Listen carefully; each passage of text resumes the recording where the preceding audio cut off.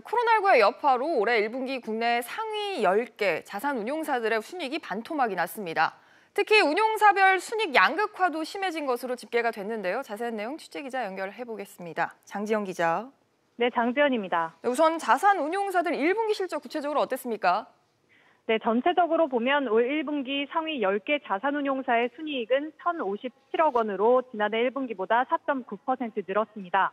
하지만 업체별로 보면 미래에셋 자산운용이 사실상 대부분의 순이익을 낸 상황입니다. 미래에셋 자산은 순이익이 521억 원으로 28% 넘게 늘었습니다. 지난해 12월 독일 쾰른 시청사를 6,500억 원에 매각했는데 여기에 대한 매각 보수가 1분기에 반영된 덕입니다. NH 아문리도 44억 원에서 61억 원으로 39% 증가했습니다. 다만 삼성 자산운용은 140, 143억 원으로 제자리 걸음했습니다. 그렇군요. 나머지 업체들은 상황이 어땠습니까? 네, 운용 자산이 업계 3위인 한화 자산운용은 52억 원에서 28억 원으로 46% 넘게 순이익이 줄었습니다. 3위 자산운용사 가운데선 가장 많이 줄어들며 증감률 꼴찌를 기록했는데요. 회사 측은 해외 대체 투자 확대 같은 미래 먹거리를 위해 인적 물적 투자를 선제적으로 하면서 순이익이 일시적으로 줄었다고 설명했습니다.